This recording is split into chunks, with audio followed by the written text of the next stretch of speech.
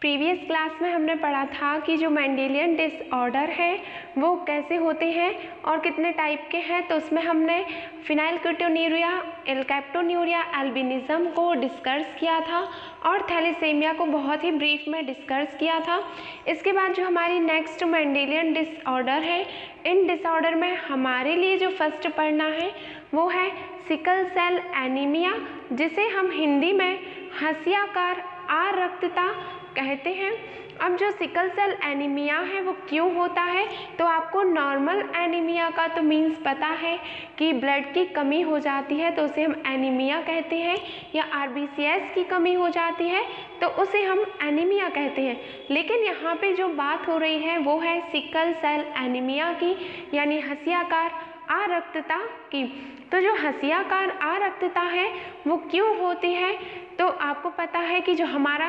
Blood होता है, उस ब्लड की आरबीसीएस में हीमोग्लोबिन होता है और ये जो हीमोग्लोबिन है, वो हमारी ऑक्सीजन को कैरी करने का, यानी कि ऑक्सीजन को पूरी बॉडी के पार्ट्स में डिस्ट्रीब्यूट करने का वर्क करता है। अब जो हीमोग्लोबिन अणु की यदि हम संरचना को देखें तो उस संरचना में दो श्रृंखलाएँ पाई जाती हैं। हीमोग्लोबिन के अणु में एक श्रृंखला होती है, वो होती है अल्फ़ा श्रृंखला, और दूसरी जो है वो होती है बीटा श्रृंखला। तो जो हमारी अल्फ़ा श्रृंखला होती है, इस अल्फ़ा श्रृंखला में जो अमीनो एसिड्स होते हैं, या जो टोटल अमीनो अम्ल होते हैं, वो 141 होते हैं। 141 अमीनो एसिड यहाँ पे जो डबल ए मैंने लिखा है, इस डबल ए का मीन्स है अमीनो एसिड अमीनो एसिड तो अल्फ़ा श्रृंखला में 141 अमीनो अम्ल होते हैं और जो हमारी बीटा चैन या जो बीटा श्रृंखला होती है, उस बीटा श्रृंखला में 146 या 146 अमीनो एसिड्स होते हैं। 100 46 अमीनो एसिड होते हैं।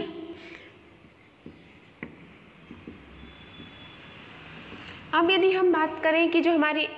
एनीमिया है या सिकल सेल एनीमिया है, उसके लिए कौन सी चैन में विकृति होती है? तो जो हमारी हीमोग्लोबिन की बीटा श्रृंखला या जो बीटा चैन है उस बीटा चैन में 146 अमीनो अम्ल होते हैं। और यदि हम बात करें छठवें नंबर के अमीनो अम्ल की, यानी कि सिक्स अमीनो एसिड की तो जो हमारा सिक्स अमीनो एसिड होता है, उस अमीनो एसिड का नाम होता है glutamic acid glutamic acid six amino अम्ल इसका नाम होता है ग्लूटामिक एसिड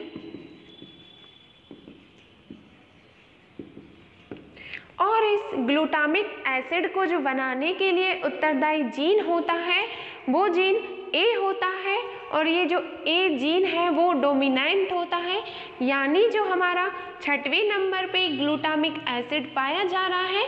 उस ग्लूटामिक एसिड को बनाने का जो काम है, वो एक प्रभावी जीन ए के द्वारा होता है। प्रभावी जीन ए के द्वारा लेकिन जब ये जो प्रभावी जीन ए है, इसके स्थान पर एक और अप्रभावी जीन आ जाता है, उसे हम ऐसे रिप्रेजेंट करते हैं। और ये जो हमारा असामान्य यानी कि अप्रभावी जीन एस होता है,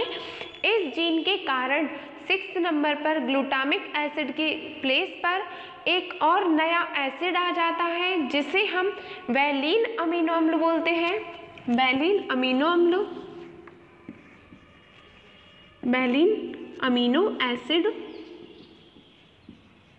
और ये जो वैलिन अमीनो एसिड है, ये वैलिन अमीनो एसिड असामान्य होता है और असामान्य होने के कारण ये जो हमारे ब्लड की आरबीसीएस होती है, उन आरबीसीएस को, उनका जो नॉर्मल आरबीसीएस होती है, मान लीजिए हमारी आरबीसीएस है, और इस आरबीसीएस में जो गोलाकार होती है, लेकिन गोलाकार होने की प्लेस पर जब हमारी आर बी हंसिए के आकार की हो जाती है, यानी कि ये हसीिए के आकार की क्यों होती है, इसका भी एक रीज़न होता है।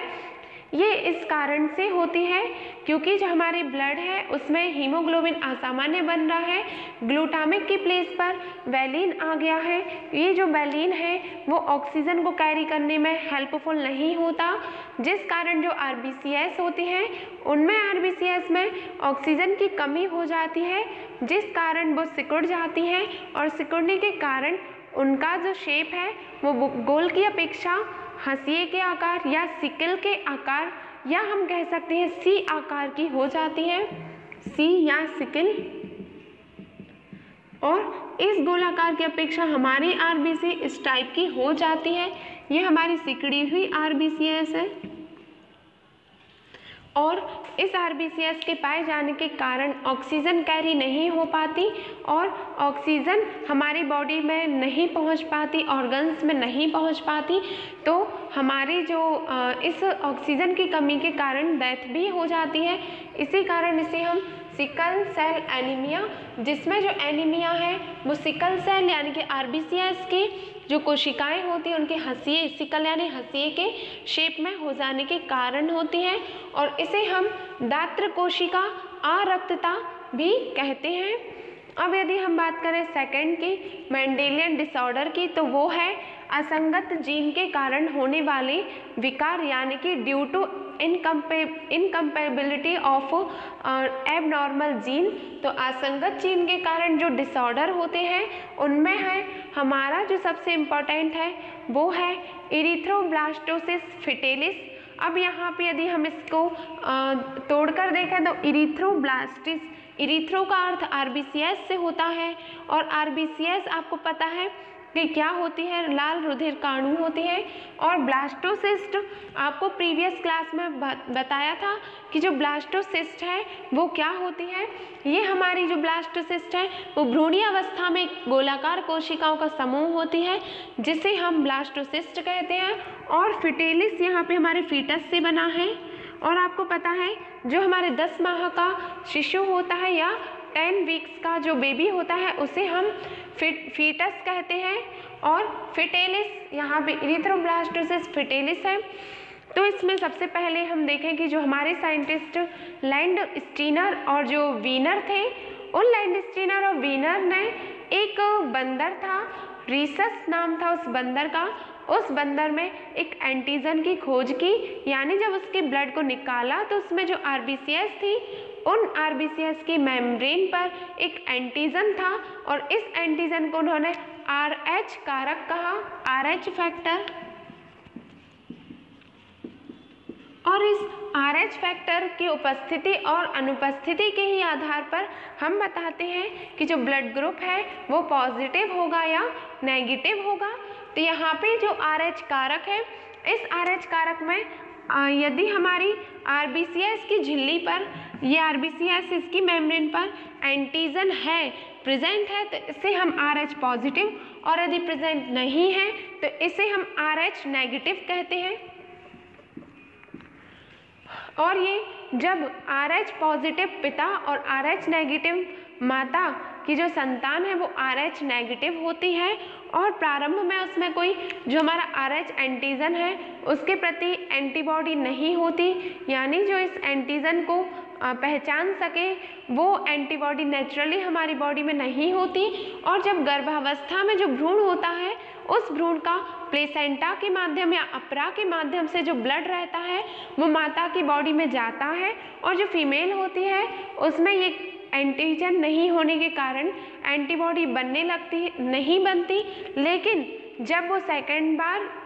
एंटर करता है या प्लेसेंटा के माध्यम से ब्लड जाता है तो इसमें आर एच फैक्टर बनने लगता है, जिस कारण फीमेल की बॉडी में एंटीबॉडीज़ बनती हैं, लेकिन जो सेकंड चिल्ड्रन होता है, उसमें ये एंटीबॉडीज़ बहुत ज़्यादा बन जाती हैं, जिस कारण ये जो बेबी होता है, उसकी डेथ हो जाती है, क्योंकि यहाँ पे एबनॉर्मल एंटीजन बनेगा और एबनॉर्मल एंटीजन के प्रति कोई एंटीबॉडी नहीं बन पाएगी। तो इस कारण इस डिसीजेस को हम इरिथ्रोब्लास्टोसिस फिटेलिस कहते हैं। तो इस प्रकार हमने देखा कि मैंडेलियन डिसऑर्डर कितने टाइप्स के हैं कौन कौन से हैं। मेनली हमने इसमें सभी को एक एक करके बहुत ही ब्रीफ में पढ़ा है, लेकिन phenylketonuria alkaptonuria albinism thalassaemia and ये जो हमारी सिकल सेल एनीमिया एंड जो हमारे असंगत जीन के कारण एबनॉर्मलिटी या डिसऑर्डर होते हैं, उनमें यदि आपको किसी भी प्रकार का कोई भी डाउट है या आपको कुछ भी इसमें समझ में नहीं आया तो आप इस वीडियो को पॉज करके इसे और अच्छे से देखकर नोट डाउन कर सकते हैं और फिर भी आपको समझ में ना आए तो आप इसे कमेंट बॉक्स में लिखकर अपने डाउट को भेज सकते हैं और आपको उसका आंसर मिल जाएगा।